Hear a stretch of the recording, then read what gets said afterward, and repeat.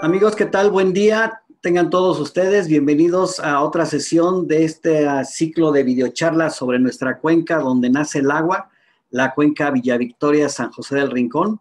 Mi nombre es Hugo Plata y soy el gerente operativo de la Comisión de Cuenca Villa Victoria San José del Rincón. En esta ocasión vamos a tener una plática con el maestro José Antonio de la Cruz Hernández, quien nos hablará sobre la biodiversidad en la cuenca Villa Victoria San José del Rincón. El maestro José Antonio de la Cruz Hernández es licenciado en biología, cuenta con una maestría en desarrollo rural por la Universidad Autónoma Metropolitana, Unidad Solchimilco, y es candidato a doctor en ciencias agropecuarias y recursos naturales en el área de procesos sociales en el medio rural por la Universidad Autónoma del Estado de México. Desde 1993 ha colaborado en instituciones federales y organizaciones no gubernamentales en el ámbito de gestión, investigación y conservación ambiental, ecología y desarrollo comunitario relacionados con la conservación en la Sierra Norte de Puebla, costa de Oaxaca y Chiapas, istmo de Tehuantepec, región de Mariposa Monarca, Valle de Bravo y Nevado de Toluca.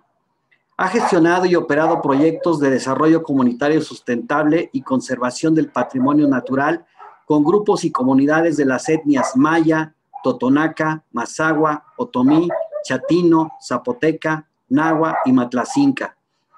Desde el 2015 es miembro fundador de Ambiente Cielo Rojo y actualmente funge como director general, colaborando en la planeación, investigación y producción para la realización de videos ambientales y gestión socioambiental.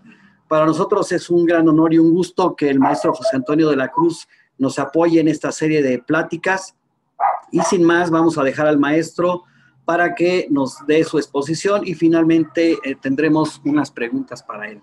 Por seguirnos, muchas gracias. Eh, muy buenos días.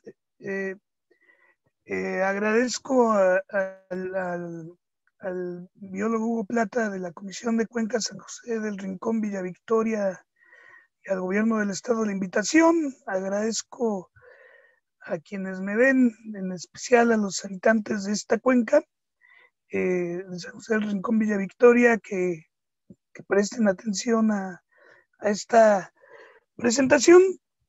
Eh, yo soy Antonio de la Cruz eh, Hernández, este, y pues quiero platicar con ustedes sobre sobre la biodiversidad de, esta, de este espacio, este, y, lo llamo un patrimonio amenazado, eh, dado que aunque en números eh, la biodiversidad biológica de esta cuenca es, muy rica, este, está enfrentando una situación eh, problemática ya desde hace varios años. Pero bien, vamos a comenzar. Eh, empezamos, ah, perdón, empezamos sobre qué es la biodiversidad.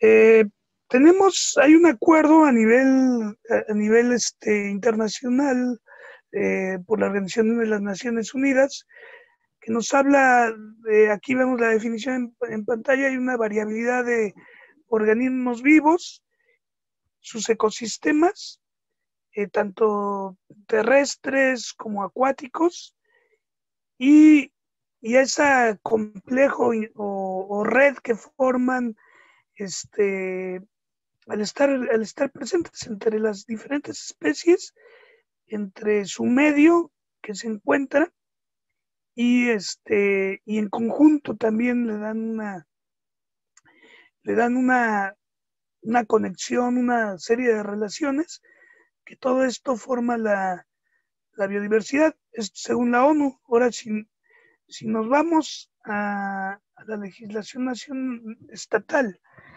eh, al Código de Biodiversidad del Estado de México, igual nos habla de, de, este, de todos los organismos vivos en un ambiente, incluyéndonos a la especie humana, eh, con los elementos bióticos, que son los elementos que están vivos, eh, las, las, comunidades, es decir, el conjunto de, de, este, de plantas, animales, hongos, bacterias, este, que están presentes ahí, su medio.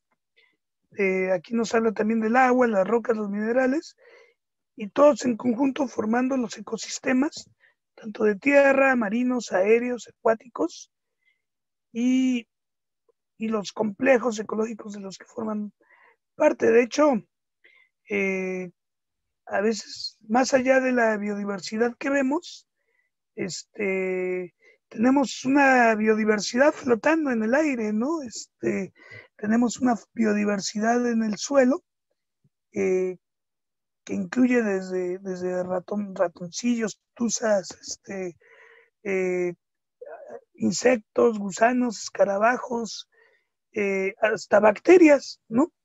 Pero también estos con su medio y en el agua, en el agua también y, en esos este, ambientes que son agua, tierra, que también están presentes. Hay muchas especies que, que algunas partes de su ciclo de vida es en la, en la tierra, otras en el agua.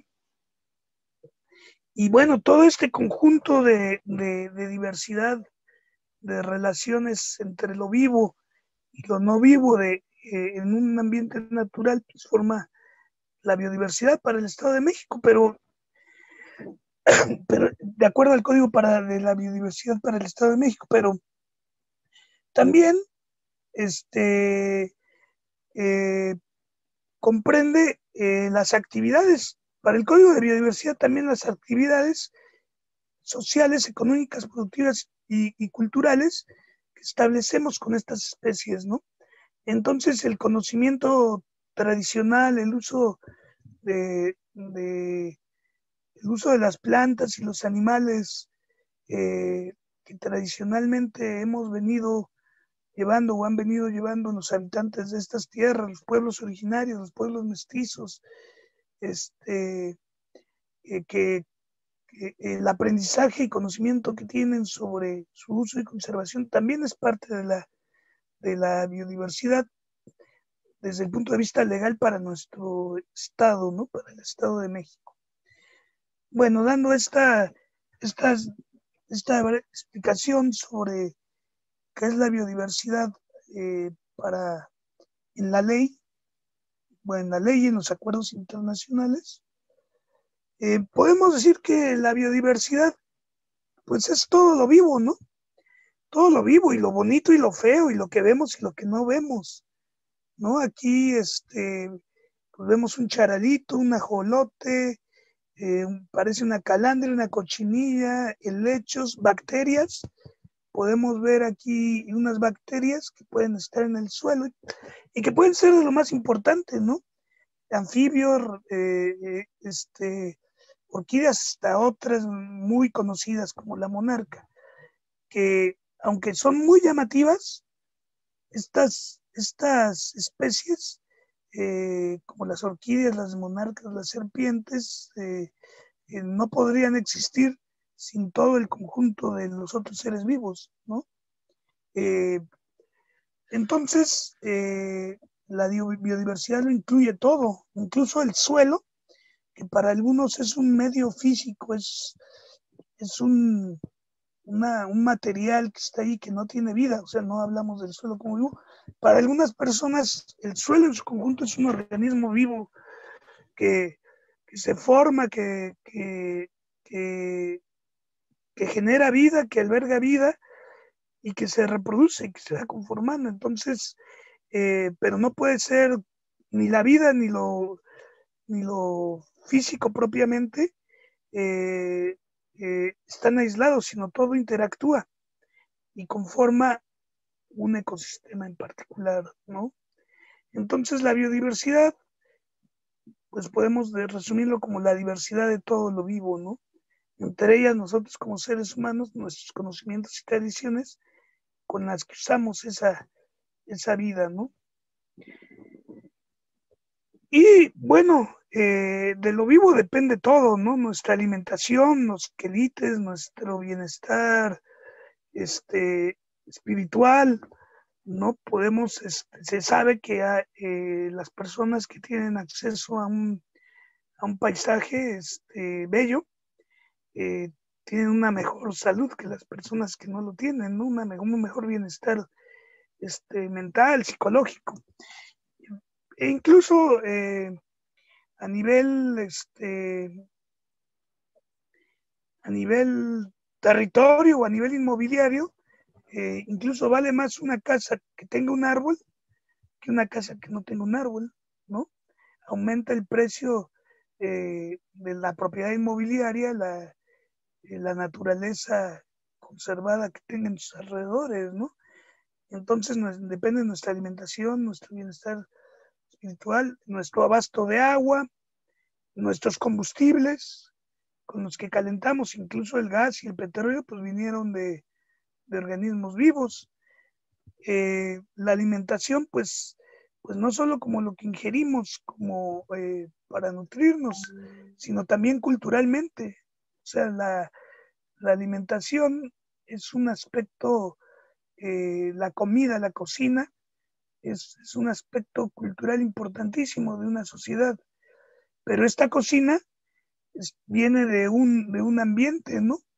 Eh, en el caso de la cocina mexicana es patrimonio cultural de la humanidad, eh, precisamente porque tiene a la mano, tiene una serie de, de, este, plantas y animales eh, increíbles que, nos lo comemos, ¿no? Incluso hay en, México hay hasta caldo de piedra, ¿no? Y es, es en, los pueblos de Oaxaca del, de, de hacen un caldo de piedra con, con este, ponen a calentar a piedras y, unos camaroncitos de río y verduras y le echan la piedra y caliente eh, eh, y eso cose la, alimentación. Entonces, pero todo es parte de la, del ecosistema y nos da una cultura también.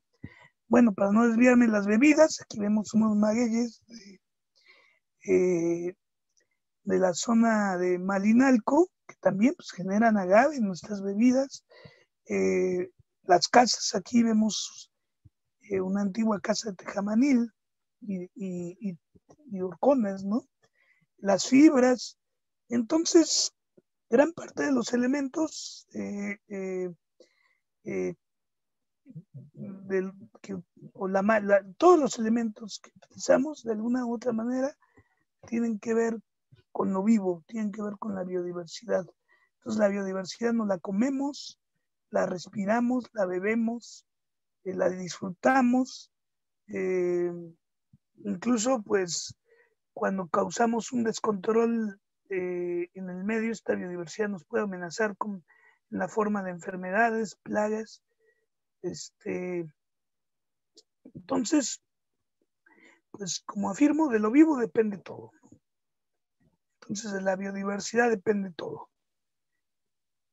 Y, este, bueno, como he dicho en, otros espacios, eh, la, biodiversidad de los ecosistemas son como la poesía, ¿no? Si, si a una poesía le quitamos una palabra, pues pierde todo el sentido, pierde toda la imagen. Así también a la, en la en un ecosistema, a medida que le vamos quitando esa riqueza de elementos, va perdiendo sentido. Nuestra cultura va perdiendo sentido, nuestra comida se va empobreciendo, nuestra agua es menos limpia, nuestra salud está menos en equilibrio, eh, nuestra eh, vida depende más del dinero. Eh, entonces, pues la biodiversidad yo llamo que es la poesía de la vida y, en esa poesía pues, pues este, debemos de vivir, tratar de vivir con esa, con esa riqueza, ¿no? Con esa riqueza de vida.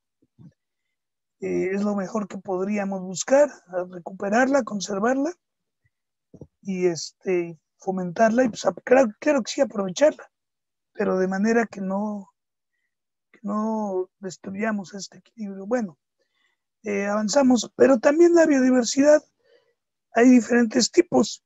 Esto es un poco más técnico, pero me interesa hablar de esto por, unos elementos. Este, está la, la alfa diversidad, beta diversidad y gamma diversidad. ¿Qué es esto?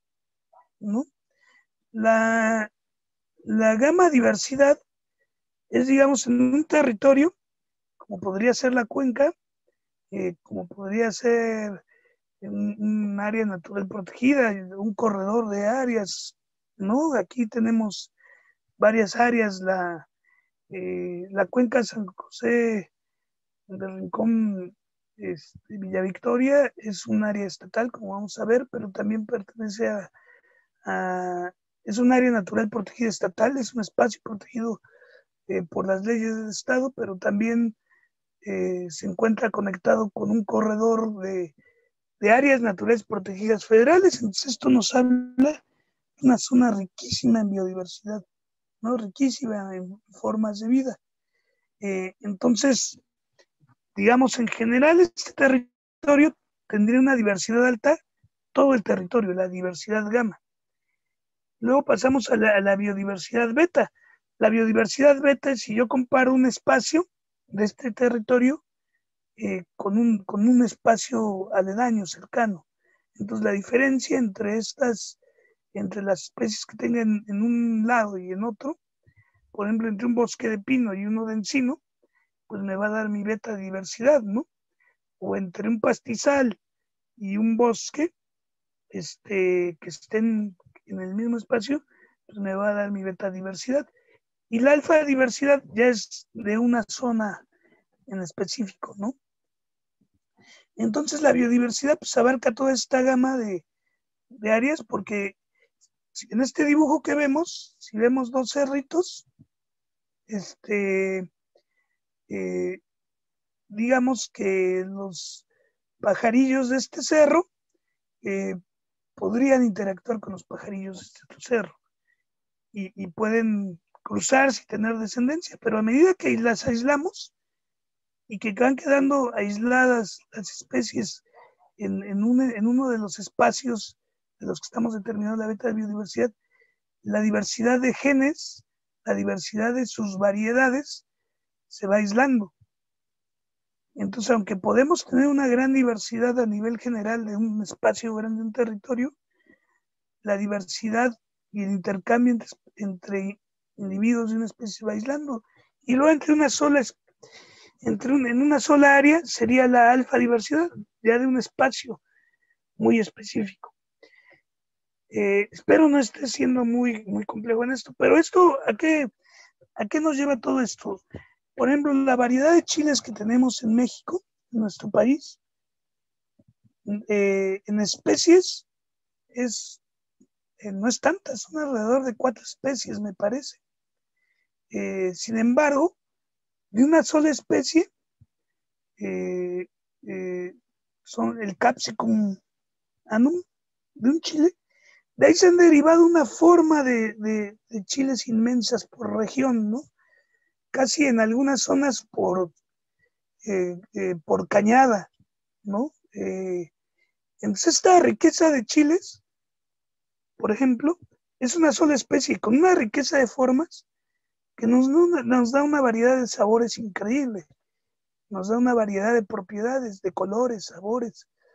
Entonces, digamos que esta variedad de una sola especie, por ejemplo, como el chile, nos da una variedad de moles, nos da una riqueza eh, cultural disfrutable. Y pues así muchos ejemplos, ¿no? El aguacate, cuántas variedades de aguacate tenemos. Este, los maíces, qué riqueza de maíces criollos con diferentes propiedades. En fin, entonces, por eso quería hacer mención a esta, este ejemplo de biodiversidad. Y, bueno, si nos vamos acá, aquí podemos ver en, Google Earth, eh, podemos ver a, la cuenca que está aquí, donde está mi, la manita, aquí el cursor, este espacio en amarillo, este polígono, es la cuenca eh, San José del Rincón, Villa Victoria, y la presa en este, la presa en el extremo, este, en el extremo sur sureste y por acá en el, en el, en el oeste este, los bosques de la serranía de Chincua, ¿no? Pero si vemos, es, pertenece a un corredor, la cuenca estaría siendo parte de esta W de bosques, ¿no? Que viene desde, desde, este, aquí sería Ixtapopo, la serranía del Ixtapopo, pasando, eh, este, eh, por la zona serrana de, de Morelos, de Posteco, eh, aquí ya la zona del Nevado de Toluca en esta parte, aquí en la parte sur, por acá el corredor, la eh, Matlatzinca Otomí, una serie de áreas protegidas, los bosques, y aquí empieza el corredor de Nevado, eh, los, los, bosques de las cuencas de Valle de Bravo, Manalco, Malacatepec, Temascaltepec y Tilostoc, y la reserva de Monarca.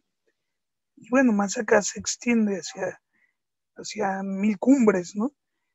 Entonces, eh, originalmente los bichos que estaban por acá, por, por la zona del, del nevado de, del nevado de Toluca o más allá por la zona de, este, desde, desde Puebla, ¿no? Desde Iztapopo, podían avanzar, interactuar o irse sobreponiendo las poblaciones a medida que se ha ido fragmentando, se ha ido, que ha habido, está habiendo barreras, la, la diversidad de la que hablábamos antes, o sea, la gama diversidad de esta zona montañosa del centro de México es riquísima, es una de las zonas más ricas del planeta.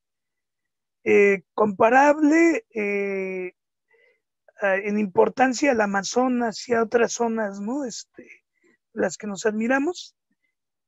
Eh, la diversidad de gama de esta zona es increíble. Es increíble la, diversidad porque de, de, esta serranía hacia arriba vienen lo que son los, los, territorios templados, es la llamada zona neártica.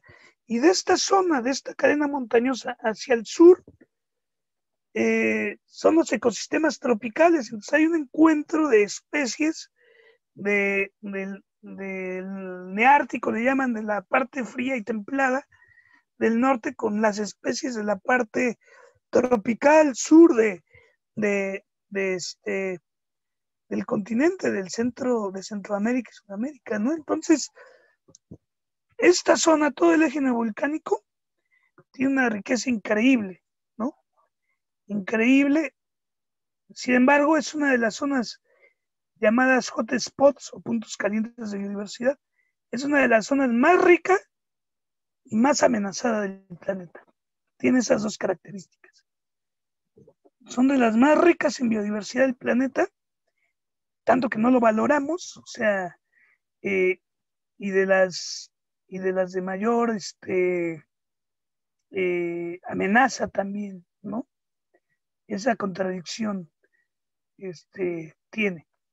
Y bueno, esto nos lleva a, bueno, y, y, esto nos da una serie de servicios, bienes y servicios importantes. El agua para las, todas las poblaciones, para los procesos productivos de, de esta región, pues depende de, de, las, de los ecosistemas que están aquí, no solo de los árboles, no solo de los bosques, sino también de las charcas, de, las lagunitas que se han ido secando y destruyendo poco a poco, eh, de los pastizales que están allá arriba, de los páramos, también de las zonas ya sin árbol, arbolado, los páramos naturales, todo eso es un conjunto de, de ecosistemas que ayudan no solo a captar el agua, sino a retenerla y a liberarla este, poco a poco.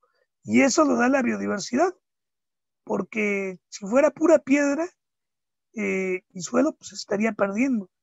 Pero al haber musgos, líquenes, eh, bromelias o maguillitos que les dicen, orquídeas, este, enredaderas, todo eso hace que, que esto sea una esponja de agua que la, que la capta, la retiene, la guarda, la libera, ¿no?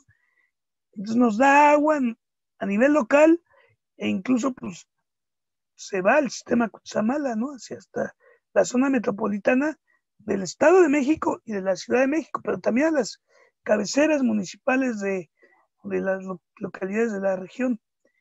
Y pues también, como ya mencioné, nos da eh, suelo para la producción, agua, alimentos, combustible, eh, permite ingresos por, por los visitantes, por turismo, tiene condiciones productivas increíbles, en fin.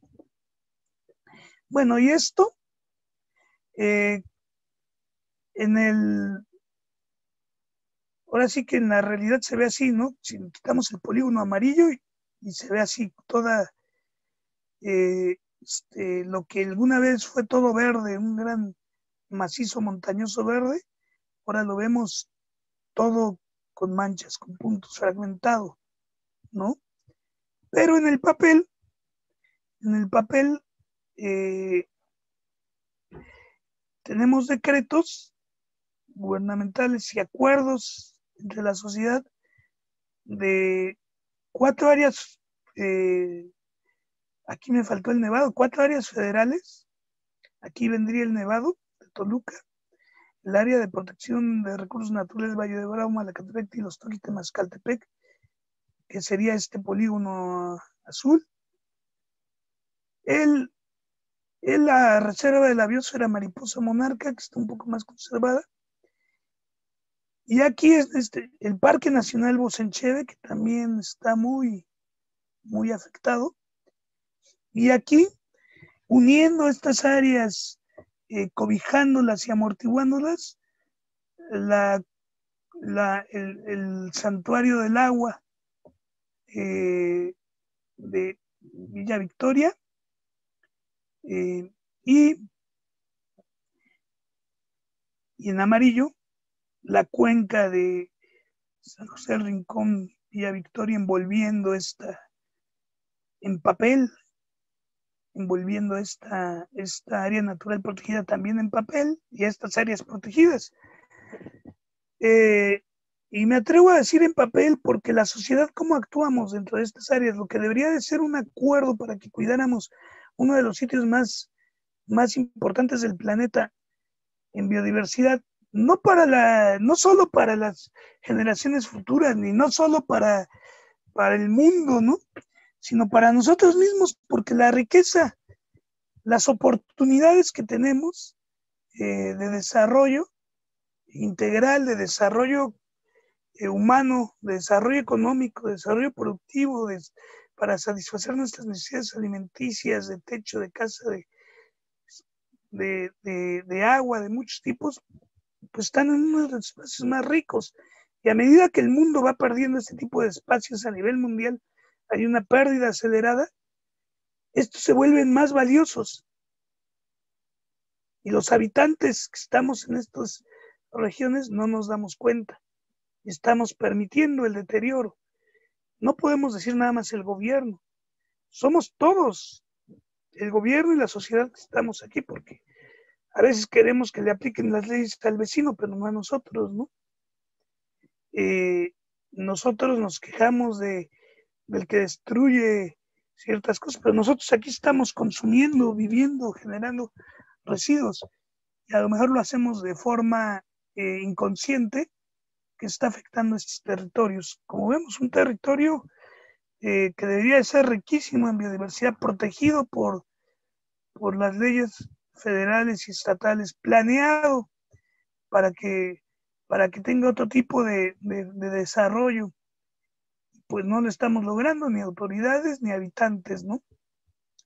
Eh, si hay esfuerzos, tampoco podemos decir que no, hay, hay grandes esfuerzos, la misma eh, Comisión de Cuenca, las direcciones de las áreas protegidas, también de la gente, gente que prueba nuevas alternativas productivas, nuevos productos, que, busca producir sin agroquímicos, que, que busca no generar residuos tóxicos, eh, que busca conservar su, agua, sus bosques, su suelo, que busca tener mayor conocimiento, conservar las tradiciones eh, asociadas a, estos, a este territorio, ¿no?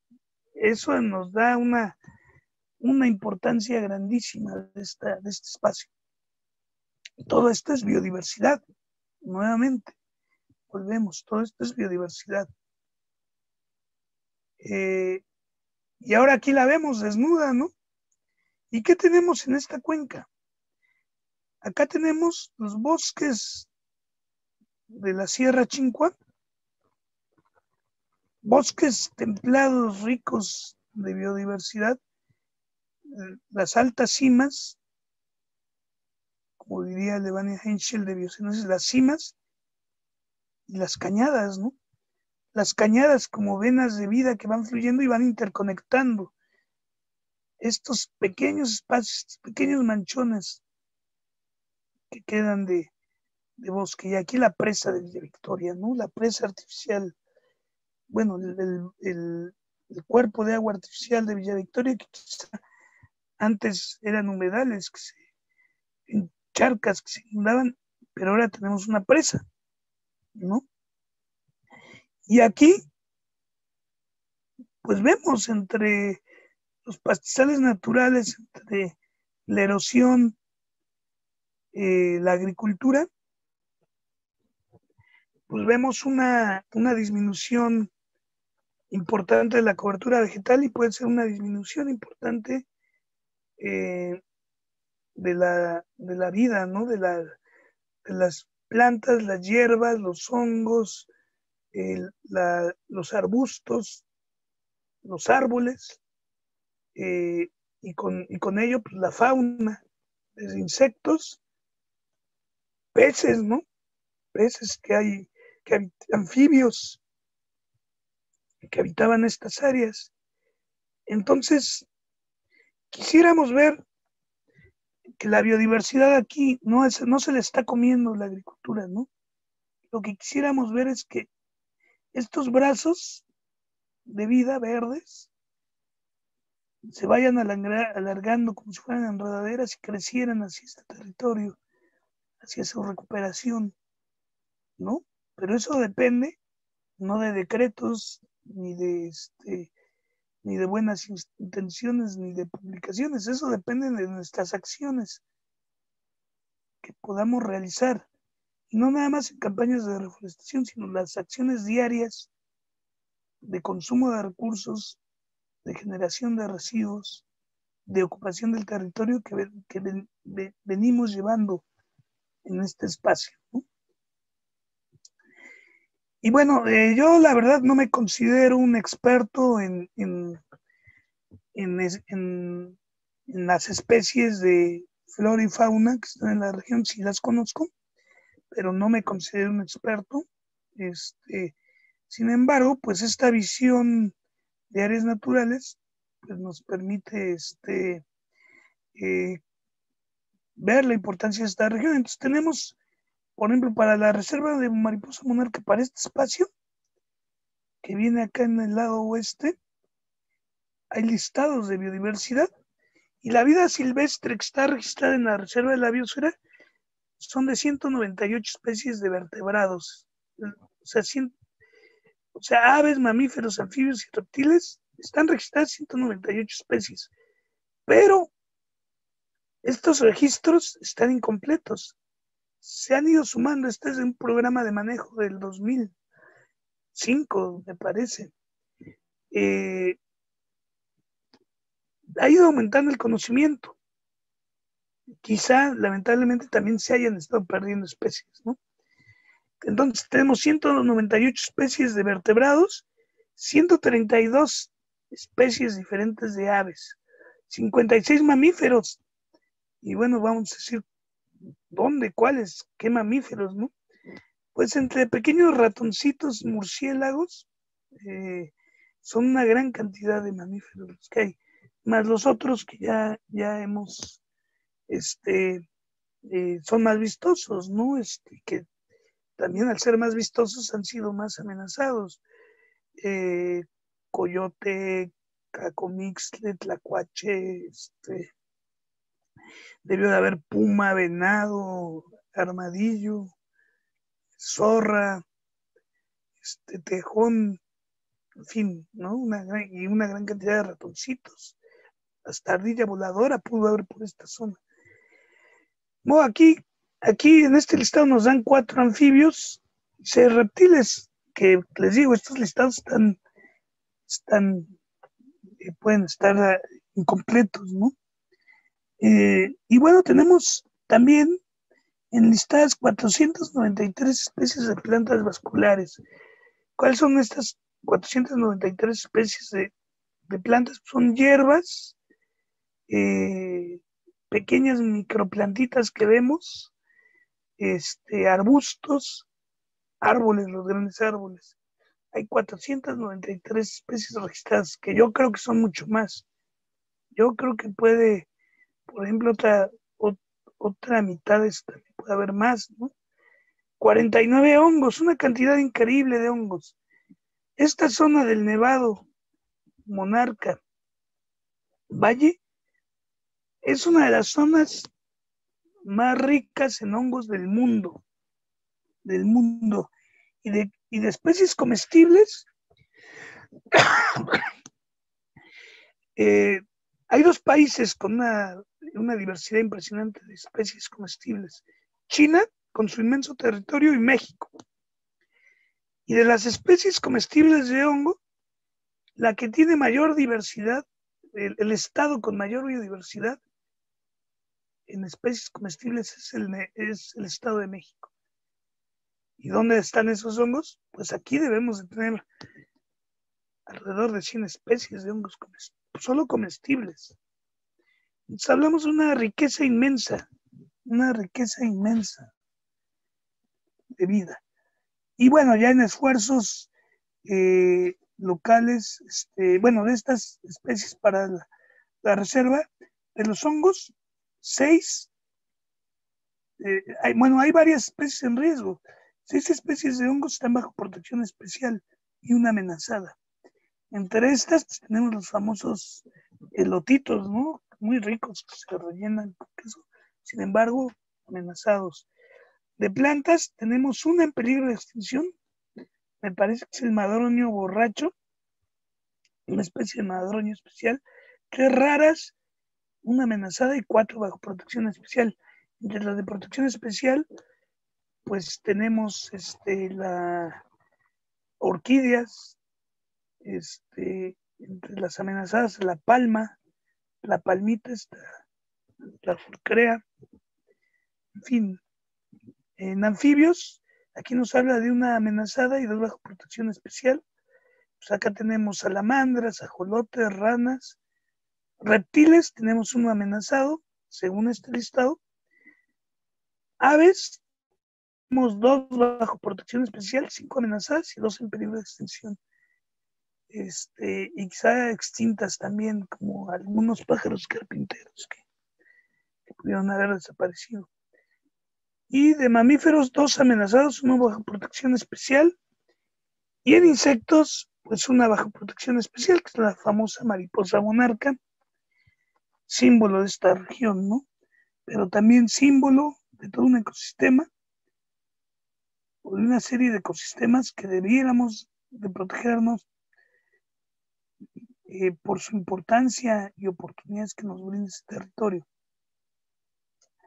Ahora, eh, híjole, aquí me faltó en esta diapositiva.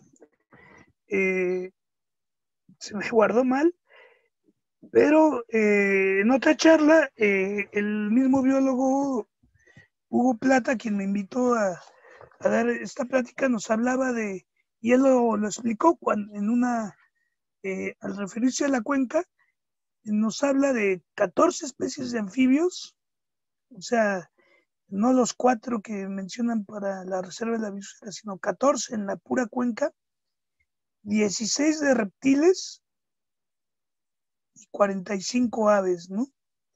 Este, exclusivamente para la cuenca. Y me atrevo a decir, y el biólogo me, me seguramente me dará la razón, que esto es, son estudios este, que no, no han sido llevados a su exhaustivamente, ¿no? Yo creo que, nos falta mucho por conocer. Y bueno, una disculpa, debería estar aquí esa, eh, una lámina con, con, con estas tres guías que él, que él ha elaborado, la Comisión de Cuenca ha elaborado, y que son muy importantes para conocer nuestra biodiversidad local de cada uno de nuestros espacios, ¿no? Deberíamos estar teniendo esa, información eh, para tomar decisiones de conservación y aprovechamiento. Y bueno, toda esta biodiversidad eh, a nivel mundial, no solo en esta zona, incluso eh, a, nivel mundial, eh, el valor de esta, o la riqueza de esta biodiversidad, si vemos esta gráfica, vemos como que va descendiendo. ¿Qué quiere decir? Estas son 16.704 especies que se monitorearon. De esas 16.000 que se han monitoreado, que se han dado un seguimiento desde los 70, este, la riqueza de especies desde 1970, que era cuando yo tenía cuatro años, hasta 2018 se perdió el 60% de las especies en el planeta. O sea, el, grado de destrucción, de, pérdida que hemos causado como humanos ha sido del 60% de la riqueza biológica. Nosotros hemos, hemos llevado a que la mayoría de las especies que se conocían en, en 1970 hayan desaparecido y nos queden un poco menos la ¿no? En este 2020. Entonces, es una pérdida grandísima, grandísima de especies. Y bueno, me imagino que así como está, quizá en el mundo, en los países industrializados hayan perdido más que nosotros, pero nosotros también hemos perdido una riqueza inmensa de especies. Eh, y bueno, ¿esto a qué se debe? Pues hay aquí en, el informe Planeta Vivo del Fondo Mundial de la Naturaleza del 2018, nos habla que hay una serie de motores, ¿no? Este, no se alcanza a ver la lámina, creo que no la alcanzan a ver bien, pero para consumo de alimentos, para, para este, la producción, para uso va generando presiones como la agricultura, el aprovechamiento forestal eh, sustentable y no sustentable, la pesca y la cacería, la extracción de combustibles, la minería y la construcción de infraestructura genera amenazas a esta biodiversidad y nos está llevando a la pérdida de especies y de ecosistemas. Pero no solo de la pérdida de especies y ecosistemas, sino de los beneficios eh, de aprovechamiento eh, culturales y de apoyo y soporte de nuestra vida, ¿no? de la vida como la conocemos, para la satisfacción de nuestras necesidades básicas y no básicas espirituales, lo estamos perdiendo a medida que se pierden estas especies. ¿no? Y como mencioné en la gráfica anterior, a nivel mundial se ha, perdido el 60% de las especies que había hasta 1970 de los setentas, de la revolución verde, de la industrialización, de la informática, hasta acá, hemos tenido una pérdida masiva de biodiversidad, una extinción masiva. Eh, curiosamente, cuando estamos teniendo mayor conocimiento como seres humanos mayor posibilidades de manejo de, nuestro medio, en lugar de conservarlo, lo hemos manejado para la destrucción. Y bueno, aquí cómo podemos ver esos factores, pues la pérdida y deterioro de los hábitats. Se habla de cinco factores, la Conavio nos menciona cinco factores de pérdida de biodiversidad. la pérdida y deterioro de hábitats, es decir, los bosques, las selvas, los humedales, las charcas, se van desecando, se van talando, se van suplantando y van cambiando esos hábitats. Pero no solo, eh, sino van quedando con, con, con huecos entre los grandes macizos montañosos, entre las grandes charcas que había, humedales grandes, pues cada vez van reduciéndose y van quedando fragmentados. Eh,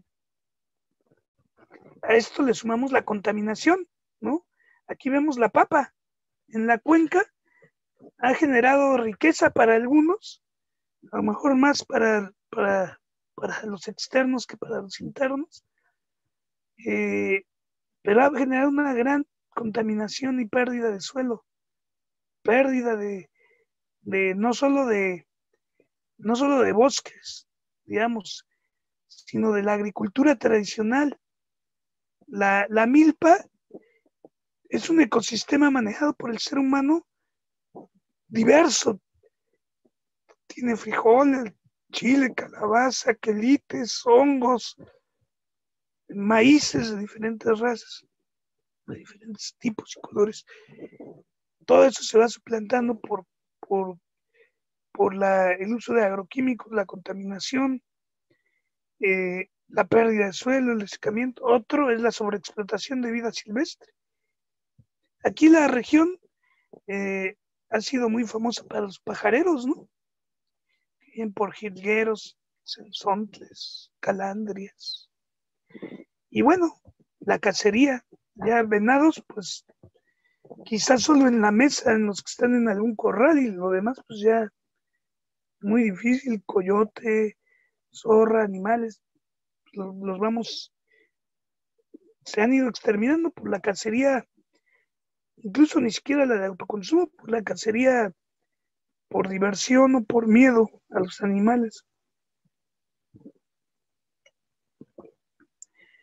Otra amenaza a la biodiversidad son las especies invasoras.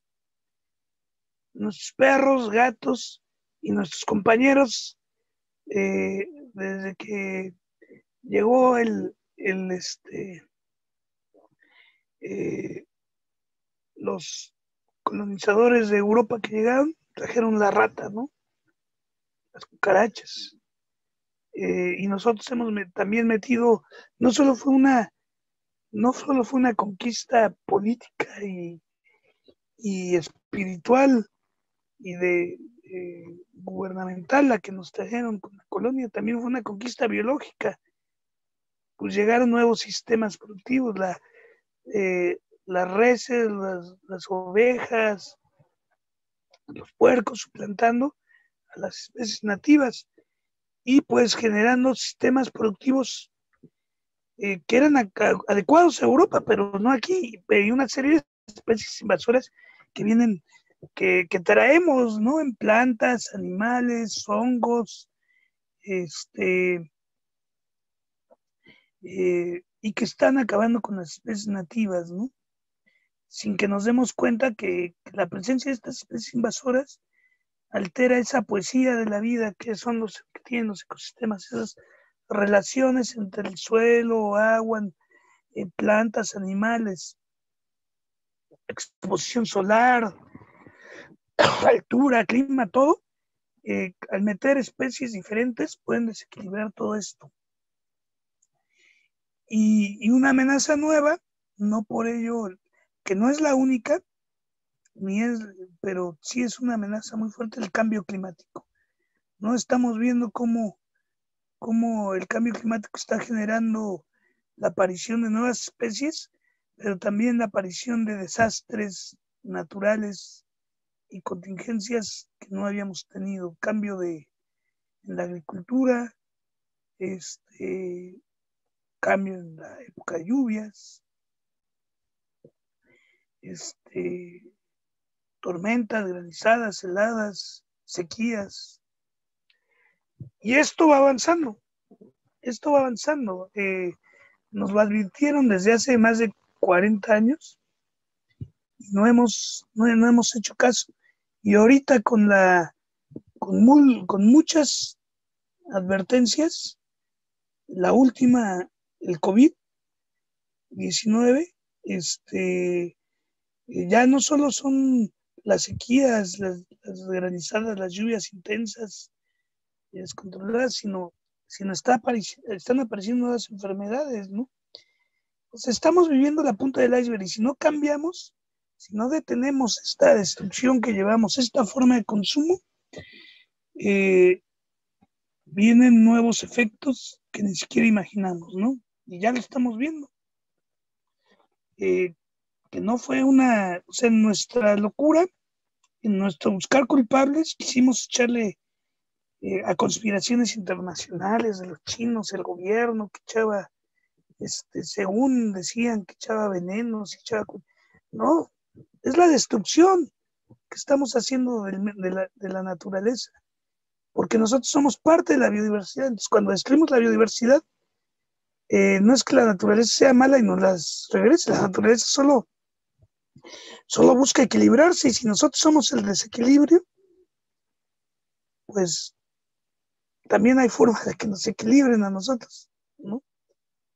Entonces, pues estas pérdidas de, y deterioro de hábitats, contaminación, sobreexplotación de vida silvestre, la presencia de especies invasoras y el cambio climático son factores que están ahorita en la cuenca y que y que nosotros estamos pudiendo agrandar o hacer, o hacer este, eh, menos grave.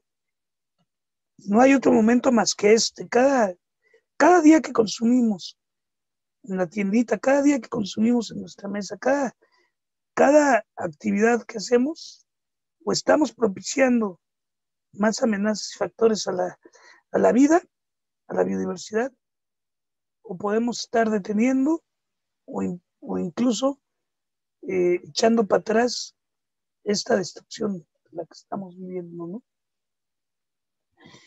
Eh, pero bueno, eh, que no se vale también nada más decir, este, ya nos llevó el diablo, ¿no? Ya hemos destruido el, el, 60% de la vida de los 60 para acá. También hay opciones, ¿no? Y estas opciones son una realidad y están funcionando. Pero no depende del gobierno nada más, no depende de, ni, ni, es para las futuras generaciones, depende de nosotros. Ahorita, ahorita tenemos que actuar para evitar una crisis de sequía que se nos viene, la crisis del cambio climático, la crisis de extinción masiva de especies, más lo que venga, ¿no? Las pandemias y lo que venga, ahorita es cuando debemos de actuar. Y, ya hay, ya hay, también se están construyendo alternativas, nos está llevando a reflexionar. Entonces, tenemos el manejo forestal comunitario como una de las opciones. Sabemos que donde hay manejo forestal comunitario, con la participación del gobierno, de, principalmente de la gente, de los dueños de poseedores de predios para para aprovechar sus bosques sustentablemente y conservarlos, para ordenarlos, son una de las más importantes este, herramientas que tenemos para la conservación de los bosques y por tanto para la conservación de la biodiversidad. La agricultura regenerativa no busca crear una agricultura que, que siga destruyendo y creando desiertos de vida, ¿no? Con una sola especie sino una agricultura y una acuacultura también, eh, eh, cultivo de, de, de, plantas comestibles, pero también la acuacultura. Ambas pueden ser regenerativas. En lugar de destruir, pueden recuperar espacios. Y esto lo saben eh, con, que nuestros maestros, ¿no? Si podemos combinar esas prácticas tradicionales de manejo suave, por así decirlo, de la naturaleza, de respeto a la naturaleza con nuestros nuevos conocimientos técnicos eh, y ecosistémicos de cómo funciona esto, podríamos estar generando eh, agricultura, ganadería, acuacultura regenerativa, en lugar de que fuera destructiva, que nos ayude a regenerar los espacios naturales, que ayude a recuperar esos suelos, que ayude a recuperar esas barreras de plantas, esas plantas comestibles, medicinales, hongos que hemos ido perdiendo. Eh, eh, los, los, humedales, la captación de agua, podría ser a través de, una agricultura, una ganadería y una acuacultura regenerativa. También tenemos las, las, energías renovables. O sea, debemos buscar nuevas formas de, energía eh, que nos ayuden a producir, que nos ayuden a vivir, que sean menos impactantes, menos contaminantes, menos destructivas. Por otro lado, también nuestro consumo, nuestro consumo debe ser responsable. Cada cosa que consumimos tiene un proceso industrial atrás o un proceso productivo atrás. Si yo, si yo me compro una gordita de haba, este, ahí en, el crucero, si me compro una gordita de haba, a lo mejor esa gordita de haba tiene, utilizó carbón, utilizó eh, este, un poco de leña, algo de aceite. Pero es diferente si me compro una chatarra que, usó aceite de palma, que usó empaque, genera empaques de plástico que no se degradan, que, implicó que la transportaran de, miles de kilómetros de, de, distribución. O sea, nuestro consumo es un factor importantísimo en la pérdida de biodiversidad y en, y en lograr el, recomponer, regenerar nuestro medio.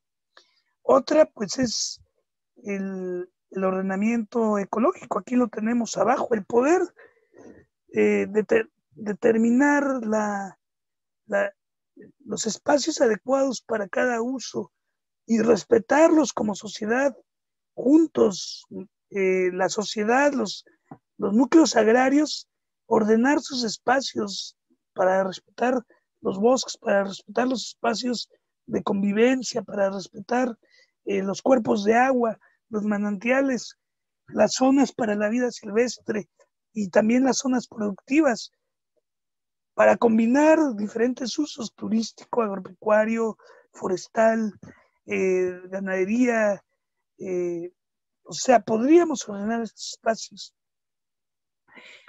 También la llamada economía circular, o sea, ya no se trata de consumir, de explotar la naturaleza y generar desperdicio, sino de, de hacer un aprovechamiento y lo que va sobrando de nuestros procesos productivos lo aprovechemos de otra forma, pero estarle dando vuelta.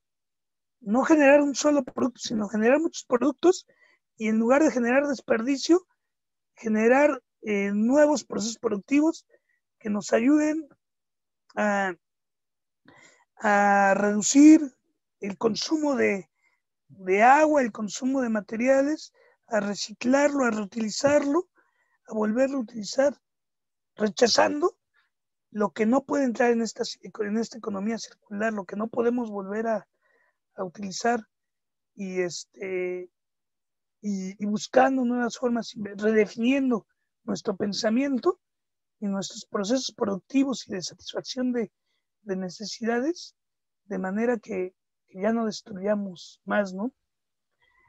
Esto quiere decir revalorar, ¿no? A lo mejor cuánta, cuánta, cuánta contaminación, consumo de agua y destrucción que nos genera una botella de refresco.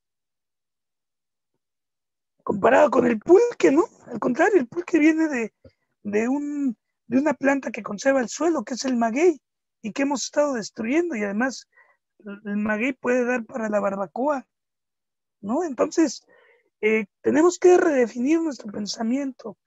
Y así puedo dar miles de ejemplos, la gordita de haba, como dije, los quelites, eh, ¿qué va de unos quelites o de unos sacosiles a una sopa maruchan que viene en un envase eh, con, con elementos que dañan nuestro cuerpo, con exceso de sodio, con plásticos que tiene ahí dentro, con un envase que tarda mil años miles, miles de años en, destruirse, que cuando se degrada en la naturaleza, eh, vuelve a entrar a, la cadena alimenticia y nos lo acabamos comiendo, ¿no? Acaba en los mares, acabamos contaminando la tierra en nuestro cuerpo. Y todo esto es lo que llamamos la resiliencia, la capacidad de las personas, los organismos, los ecosistemas, de, a pesar de sufrir un impacto, volver a reconstruirse, volver a, a buscar estar en su estado original. Pero, pero la resiliencia psicológica, la resiliencia social va más allá. Si ahorita estamos sufriendo porque como, como sociedad nos hemos destruido la naturaleza de nosotros mismos, debemos de crear una sociedad mejor en armonía y producción con la naturaleza, que ya no sea esa naturaleza que nos amenaza, sino una naturaleza a la que estemos integrados y que nosotros también estemos conservando. Esa es la capacidad de resiliencia poder, eh, después de un impacto, poder estar mejor. Entonces, para conservar la biodiversidad, pues debemos de, fomentar estos procesos regenerativos y de resiliencia. Y no es el gobierno nada más, somos la sociedad. Somos cada uno de nosotros con nuestro consumo diario los que podemos hacer ese cambio para, para la conservación de la biodiversidad la biodiversidad es la vida. Si conservamos la vida, conservamos nuestra propia vida. Hacemos una mejor vida para nosotros. Y bueno, este, ¿y dónde están estas, estas, estas recetas? Pues hay acuerdos, ¿no? Acuerdos que van y hacen grandes cumbres. Ahorita tenemos los objetivos de desarrollo sostenible, 17 objetivos para lograr antes del, 2030 poder, poder detener esta destrucción que estamos viviendo, este cambio de mundo. No destrucción de la naturaleza, la naturaleza no se va a acabar, se va a acabar nuestro bienestar. Eso es lo que queremos, queremos evitar, que, no podamos vivir como vivimos, que ya no veamos la belleza que vemos, que no podamos aprovechar las oportunidades que veamos, que cada vez tengamos más enfermedad, menos variedad de comida, menos variedad de paisajes, menos bienestar. Entonces, pues ya hay una agenda, los objetivos del desarrollo sostenible son 17, fin de la pobreza, hambre cero, salud y bienestar, educación de calidad, igualdad de género, agua limpia y saneamiento, eh, trabajo digno, energía renovable, eh, reducción de las desigualdades, ciudades sostenibles, consumo responsable, eh, acción por el clima, vida, vida submarina, que podemos decir, yo qué hago por la vida submarina, pues todos los plásticos que usamos finalmente van a llegar al mar si seguimos consumiendo este ritmo. Eh, conservación de los ecosistemas terrestres, paz, justicia, eh, y alianzas para lograr estos objetivos, unirnos, unirnos en la toma de decisiones. Estos objetivos tienen 162 metas. Logrando esto, viendo cómo lo podemos hacer, tenemos que tener nuestra agenda individual, nuestra agenda como comunidad, nuestra agenda municipal, nuestra agenda estatal y nuestra agenda como país para buscar esta resiliencia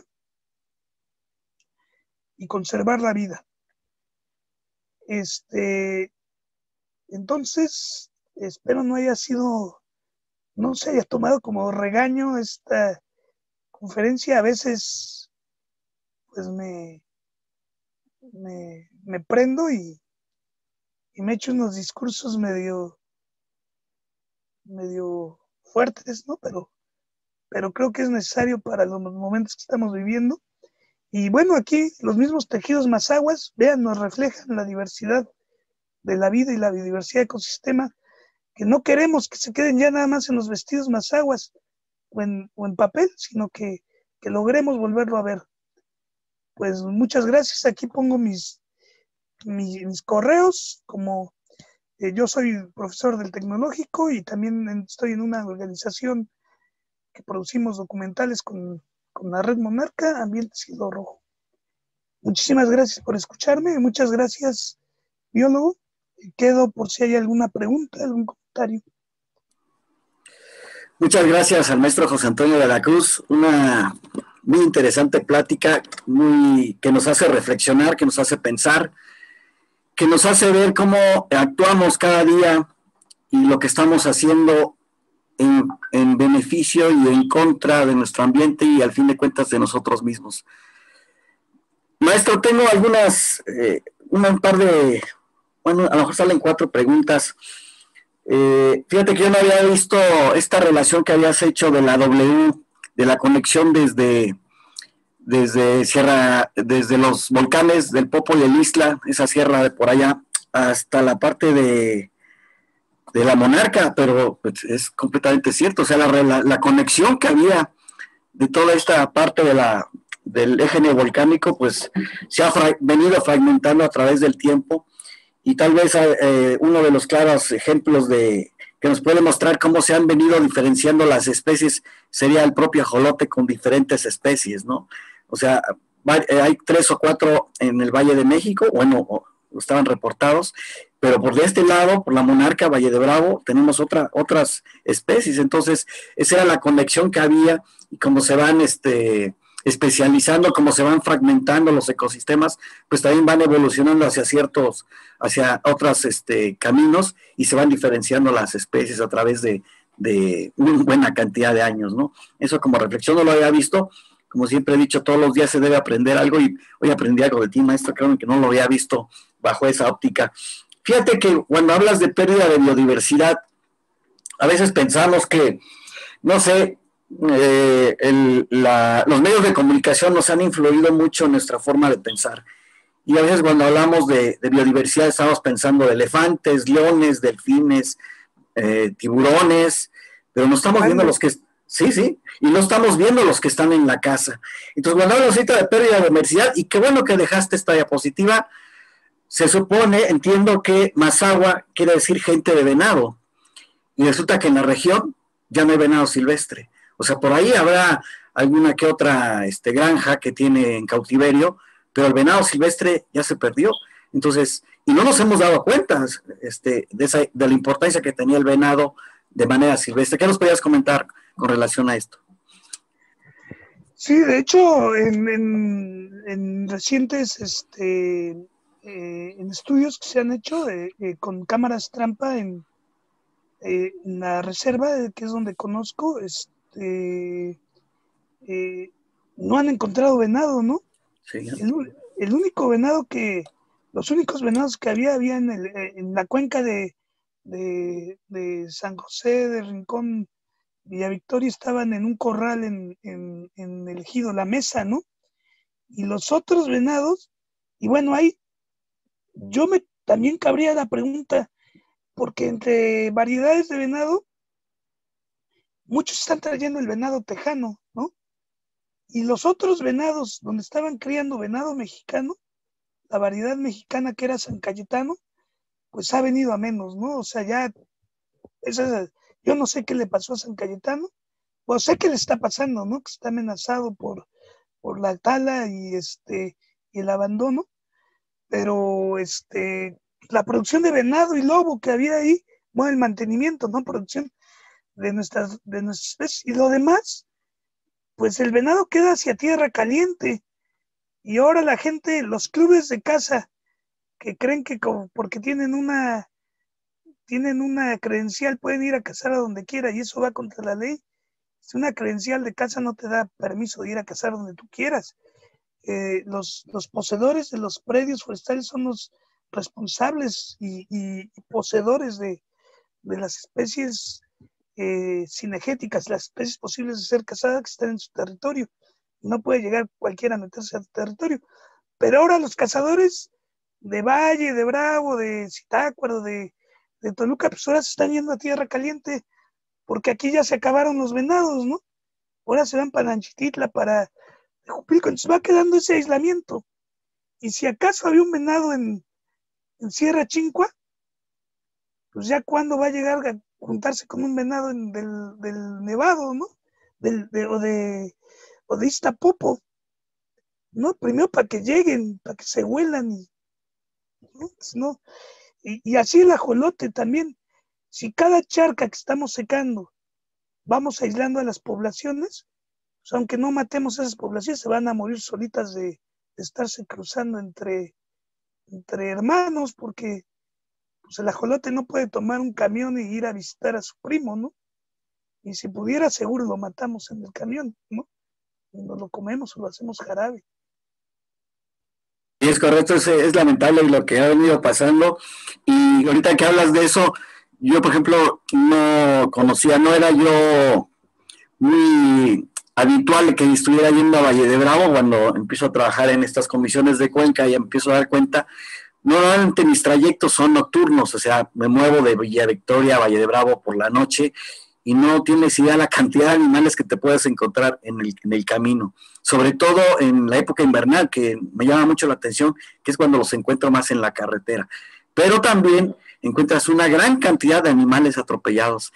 Y alguna vez hice el comentario para alguna institución que dijera, pues aunque sea un pequeño letrero, tanto a principio de carretera, ya por, por el monumento o por Valle de Bravo, que dijera, baje la velocidad porque, o sea, hay mucho tránsito animal tranquilamente me he encontrado más de 100 ardillas en un, en un semestre más, vamos a ponerlo así, atropelladas. No serían tlacuaches, cacomistles. Alguna vez me acuerdo que le tuve que hacer un paro a un mapache en la noche porque estaba perdido entre una cañadita, ahí yo parando el tráfico de todos y hasta que obviamente te lamentan, pero este, ya se dan cuenta pues que, que iba un mapache ahí todo extraviado que no se podía salir no había manera de salirse de ese tramito hasta que le, se encaminó y ya, ya pudo salir. Pero bueno, es increíble todavía la biodiversidad. En nuestra propia oficina en Valle de Bravo tenemos visitantes comunes como el tlacuache, el mapache y el cacomistle es común porque ahí hay muchos este, árboles frutales. Entonces,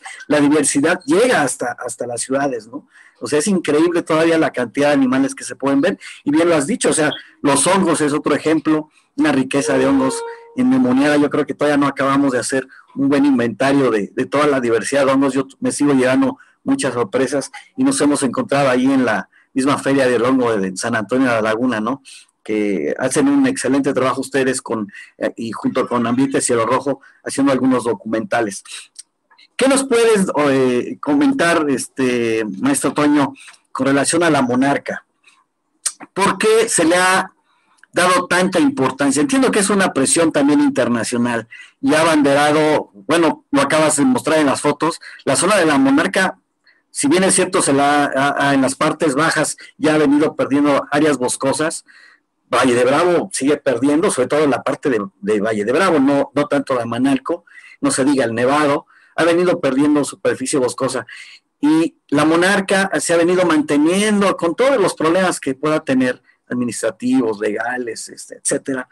La monarca sí ha sido uno de los mejores ejemplos, bueno, si no, si no en la excelencia, es un área más o menos bien, bien cuidada. Y el emblema, o al haber utilizado a la monarca, o el pretexto que sea la monarca, le ha apoyado mucho. Pero ¿qué opinión nos puedes dar eso? ¿Por qué nada más la monarca, habiendo otros animales? A lo mejor porque este llega hasta Canadá y, y de regreso, tal vez ese sea el efecto. Sí, yo creo que es este, eh, pues una entre, entre menos, entre menos conocemos algo, menos lo queremos, ¿no? Entonces, este, la monarca ha sido muy estudiada eh, y nos, y bueno, ya era conocida, no fue descubierta, ¿no? Ya era conocida por los pueblos de la región y, era parte de su cultura. Y, incluso también a veces la llegaban a llevar a forrajear, ¿no? Las, llevaban a forrajear vacas y que esto no quiere decir que la estaban destruyendo, ¿no? A lo mejor pues, era también parte de un aprovechamiento. Y, lo que vino a, a, destruir este, y, a, dar más, más, visibilidad a esto fue el cambio de uso suelo, la destrucción de los bosques, ¿no? Y, y pues afortunadamente eh, la, monarca se volvió una, un ícono de la conservación. Eh, acabo de ver el día de ayer unos documentales de que tú te has de acordar porque somos más o menos de la misma este, rodada. Eh, de los 60 vi un documental del, del 86 de, este, de la monarca, donde toda la problemática en un programa que se llamaba 60 minutos, nos hablaban de toda la problemática que seguimos viviendo hace 34 años y la seguimos viviendo. Y, ya ahí están los científicos mexicanos, ahí se habla de la tala y todo. Y, sin embargo, se estereotipó al campesino como el destructor, cuando en el mismo documental habla de la Rexel, ¿no? De la, bueno, la anterior Resistol, que tenía una explotación intensiva de los bosques, de los ejidos, ¿no? Este, afortunadamente, eh, la monarca se, se volvió un icono, lamentablemente no fue bien gestionado. Eh, ¿Por qué? Porque no lo tomamos, o sea, la, la, visión nos vino impuesta desde Canadá, Estados Unidos, de una protección diferente a la protección que acostumbramos los pueblos este, eh, que convivimos con la naturaleza más, ¿no? Lo que ha llamado Alcorn la pequeña conservación, que es a través de los usos y eh, usos cotidianos de la diversidad, la vamos conservando, generando y, y, diversificando, hasta la vamos haciéndola más, más diversa, sino viene una visión de imposición, ¿no? De, de exclusión. Esa visión pues ya ha sido superada a nivel mundial, somos ejemplo de forestería comunitaria, este, y que donde la participación de, la, de los pueblos en, en, el aprovechamiento adecuado de, los, de sus bosques, de sus, de sus espacios verdes, este, eh, es fundamental, ¿no? Entonces, hubo una, una tensión muy fuerte cuando eh, los habitantes de la región monarca se, sintieron excluidos de sus bosques por querer conservar una mariposa, ¿no? Este, que además ya conocían y que habían convivido con ella por, miles de años. Eh, afortunadamente, la, eh, los científicos y los, y los actores gubernamentales, a fuerza de, de golpes, por así, mediáticos, de golpes políticos, pues, pues fuimos entendiendo, ¿no? Yo, yo creo que muchos fuimos parte de, esa, de ese proceso, tanto de un lado como, como, como de otro, ¿no? Tanto la conservación como, como el impulso de un manejo adecuado, pues ahí estuvimos. Este, eh, entonces fue, se ha dado un proceso de aprendizaje este, tanto del gobierno, de los mismos investigadores canadienses estadounidenses, de las mismas organizaciones y de, y de la y de los pueblos locales, ¿no? Eh, hay gente, eh, habitantes, mujeres de, de, la región de Monarca que están haciendo ciencia ciudadana desde que tienen cinco años y ahorita ya tienen hijos y, y siguen monitoreando su agua, siguen monitoreando su fauna, eh, ejidos que ya están buscando un aprovechamiento integral de los recursos eh, y están generando la, recomposición de sus bosques después de que fueron llenados de, latifoliadas, de hojosas, ¿no? A veces hasta de cedros y eucaliptos en casos más extremos, ¿no? Entonces ya está habiendo una, un, ha habido un cambio. Lamentablemente, pues eh, la monarca sí han venido declinando las poblaciones aunque puedan tener eh, pequeñas subidas, vienen declinando y nos enfrentamos a la amenaza mayor del cambio climático, ¿no? Y quizá la monarca como especie no se acabe, pero el fenómeno de hibernación puede estar en peligro. Eh, y yo creo que con el fenómeno de hibernación, la monarca nada más es un termómetro. La monarca es como el canario que metían a las minas y si el canario se pelaba, se moría es que ya se intoxicó y había gases venenosos. Así la monarca. En el momento en que perdamos al fenómeno de hibernación de la monarca, la monarca no se va a acabar porque la monarca se está expandiendo por el mundo. Pero si se acaba ese fenómeno, quiere decir que la humedad de los bosques se está acabando. Y si están acabando la humedad de los bosques arriba de los 3.000 metros, estamos poniendo en riesgo a todo el sistema hídrico, como tú bien sabes, y, como saben, con esta iniciativa de la, de la custodia de las cuencas de altas de San José, de Valle de Bravo, este, por otro lado de Zitácuaro, los bosques de agua en otras zonas, ¿no? La monarca solo es un indicador. Si se acaba el fenómeno de la monarca, la monarca no va a desaparecer. Pero quién sabe qué nos pase con nuestros cultivos con nuestro abasto de agua abajo. Y también todo tiene relación. eh, ayer escuché en un foro de la UAM que las zonas de la Ciudad de México donde ha habido más COVID son las zonas que tienen tandeo de agua. Donde ha habido más muertos son las zonas que tienen tandeo de agua. Y si vemos la gráfica del, del aumento de casos de COVID en, en nuestra región, o sea, en los 10 municipios de nuestra región, el aumento de casos de COVID se dio en época de secas. Entonces, si perdemos la cantidad de agua que tenemos disponible, no nada más va a ser que no nos bañemos, vamos a estar expuestos a enfermedades, vamos a perder capacidades productivas, vamos a perder eh, el agua. Y la monarca es solo un símbolo. Si se acaba la monarca, el fenómeno de hibernación, debemos de protegernos porque se nos van a acabar nuestros manantiales. Más toda la demás biodiversidad, todo funciona como una máquina, eh, como una máquina viva, resiliente. Si a nosotros nos quitan el, el hígado o un riñón, pues a lo mejor podemos seguir funcionando, pero no vamos a vivir bien. Entonces, cada especie es como una parte de un cuerpo, ¿no? Si nos quitan una, pues sí, y si ya perdimos el 60% de nuestra biodiversidad, imagínense que nos quiten el 60% de nuestros órganos, no vamos a ser viables, ¿no? Sí, es correcto. La verdad es que es una situación difícil y creo que has dado, has dado una de las mejores definiciones que he escuchado con relación a la importancia del fenómeno migratorio y por qué protegerlo.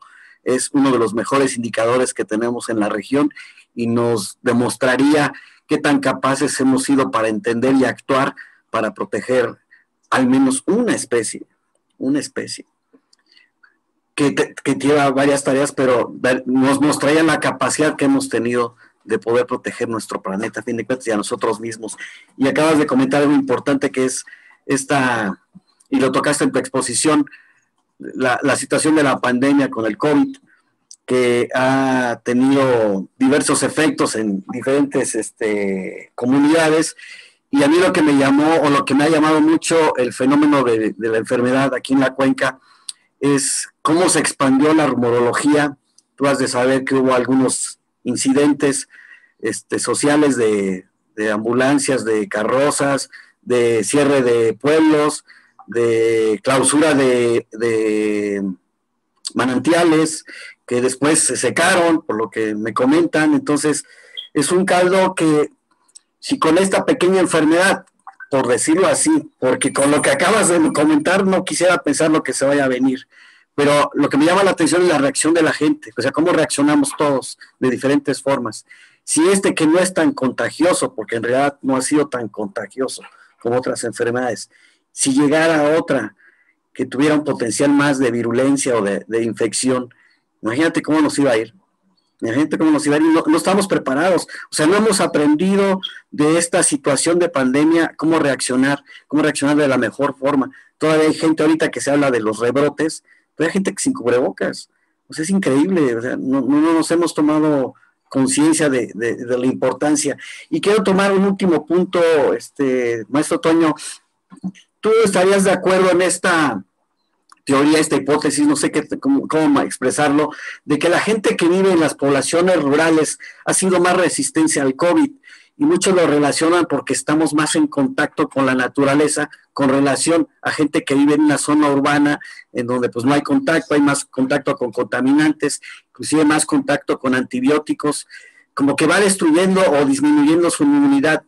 ¿Tú crees que esto sea algo cierto? O sea, que, que la gente rural, la gente de vida rural, es, es un poco más fuerte inmunológicamente a ciertas enfermedades por este contacto con la naturaleza.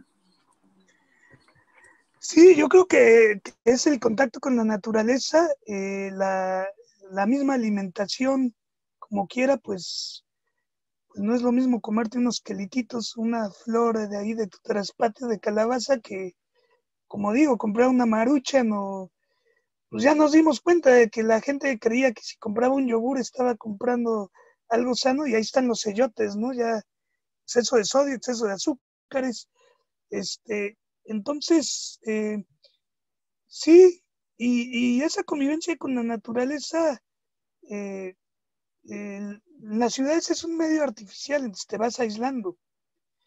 Eh, por ejemplo, ¿qué dicen? Que le echan la culpa al murciélago, de que alguien se comió un murciélago y dio el COVID, ¿no?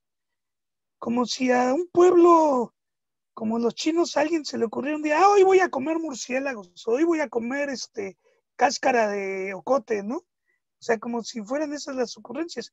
Si comían murciélagos es porque tenían una cultura milenaria de comer murciélagos y se había mantenido todo en equilibrio, ¿no? Como aquí podíamos comer este, eh, ranas, podíamos comer acociles, podíamos comer este, gusanos del encino, podíamos... Y no pasaba nada porque había un equilibrio.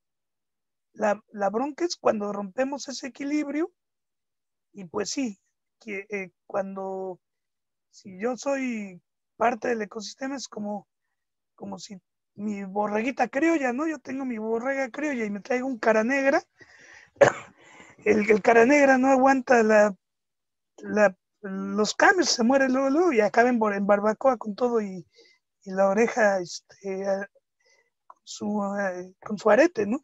Y el criollito ahí anda, ¿por qué? Porque el criollito, el criollito ha convivido, se ha forjado y, el que no aguantó, pues se murió, ¿no? Así mismo, o sea, la convivencia con la naturaleza tanto nos hace un, cuerpo más sano hasta psicológicamente, eh, eh, psicológica y pues, el aire que, respiramos, los alimentos que comemos y, la convivencia con esa naturaleza no nos es ajena. en cambio en las ciudades, pues pues ya hasta el sol les hace daño, ¿no? Este, ya hay alergias, hay, hay muchas alergias. Y aquí, pues, si, si eras alérgico al, pues, no, mi hijo, serás alérgico, pero vente atrás echando el, maíz, ¿no? Aunque te caiga polvito. Eh, claro, yo, yo a mí no me tocó eso, pero, pero yo veo la resistencia de la gente y, pues, pues sí, eh, Sí, yo creo que entre más nos, si más nos aislamos de la naturaleza, más susceptibles somos a, tenerla como amenaza. A que si convivimos con ella de manera armónica y sana, pues podemos tener una relación mejor, hasta con los microbios, porque también es cierto, a lo mejor hablo mucho, pero gran, de, cada, de cada célula que tenemos, nosotros tenemos 100 células que no son nuestras de bacterias que están en nuestro cuerpo, ¿no? aquí tenemos, somos el ecosistema de un medio de bacterias que conviven con otras bacterias. Pero si les estamos dando en la torre a las otras, pues se nos va a soltar una, un desequilibrio. O sea, tenemos la falsa idea de que estamos aislados y que somos especiales. Y no, somos totalmente naturaleza. Y si destruimos la naturaleza, nos destruimos a nosotros. Cabe decir, aquí en la región, los, ratones de, eh, campo eh, han convivido con un virus que se llama hantavirus. En la medida, y es, y es muy peligroso para el ser humano, muy peligroso. Pero pues las comunidades han convivido mucho con ellos. en la medida que vamos haciendo cambios de suelo para poner, poner este, ciudades donde antes había bosques, porque la gente quiere vivir en el bosque, aunque lo destruya, si vamos invadiendo eh, esos sitios de los pequeños mamíferos, el hantavirus está ahí como otra amenaza. no va a ser culpa de los ratones, va a ser culpa de nosotros, nuestros gatos, las ratas que nos acompañan y, y todo que nos vamos a exponer a más virus por destruir la naturaleza que antes tiene un equilibrio. Y nosotros nos estamos metiendo. Es como si nos metiéramos a la jaula, a la boca del lobo, dicen, ¿no? A la cueva del lobo. Pues el lobo nos va a morder. Aquí nos estamos metiendo en un medio microbiológico que también está ahí, donde conviven con las especies que han resistido y lo han mantenido a raya. Pero estamos quitando el 60% de sus depredadores, de sus este, reservorios, pues nos van a, nos van a pegar, ¿no? Sí, es un problema muy fuerte. La verdad es que, bueno, nosotros prácticamente ya vamos de salida. y Yo todavía, cuando hablamos de estos temas, me pongo a pensar en mis hijos y me pongo a pensar en mis nietos, qué, qué futuro les estamos dejando. Y es ahí tal vez en donde debemos de comprometernos más. Y tú eres un gran ejemplo, mi estimado maestro José Antonio, apasionado del tema. Te agradezco muchísimo. El tema da para más. Eh, tengo muchas más preguntas, pero ya, ya, ya casi llegamos a las dos horas. Este, lo vamos a dejar por ahí. Ojalá tengamos otra oportunidad y, si en otro evento podemos este, retomar el tema, me daría mucho gusto. Tus conocimientos siempre son amplios muy carismático el maestro eh, de, la académico del Tecnológico de Estudios Superiores, a quien les agradecemos el apoyo para esta serie de pláticas, al maestro en específico. Y pues síganos, estamos, eh, vamos a seguir con esta serie de videocharlas.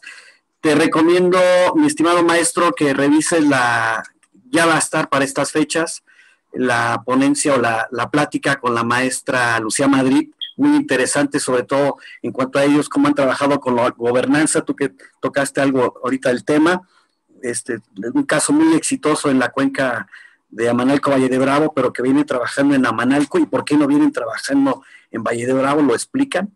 Te la recomiendo, se los recomiendo a todos ustedes. Y pues unas últimas palabras, maestro, ya para despedirnos.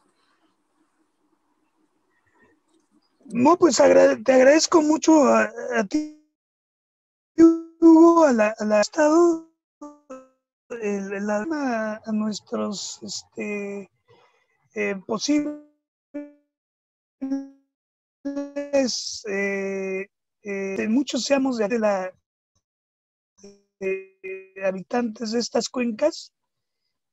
Y tenemos que hacerlo ahorita porque a veces también decíamos que, que nuestros hijos, que uno les va a tocar, pero ya nos tocó a nosotros la, epidemia zombie ya nos tocó, o sea, no era algo que venía, ya estamos aquí y ahora vivimos con cubrebocas y con miedo a infectarnos, infectar, entonces no podemos esperar a que se acabe la pandemia para cambiar, vamos a cambiar ahorita. Si no cambiamos, vienen esta imagen. Pero tenemos la capacidad y tenemos las capacidades y ahí están los ejemplos, ¿no? Hay muchos ejemplos de nuestros vecinos locos que están creando cosas raras, que están reforestando aunque no vayan a ver sus árboles ellos, que están creando manantiales. O sea, todos esos locos que están, que siempre los tachan de locos por hacer cosas irracionales que no tienen que ver con el dinero, sino por con mejorar la naturaleza y, el ambiente de los demás. Pues ahora hay que hacerles caso porque, porque necesitamos cambiar y ya no hay, ya nos comimos el tiempo. Ya no, ya no hay tiempo para, para dejarlo para después. Tenemos que cambiar ahora y aprender a cambiar, pero hay que intentarlo. Pues bien, y pues este, para ilustrarlo más bonito que mi cara, este, pueden ver, este, los invito a que eh, eh, vean el, documental Biodiversidad más allá de la monarca.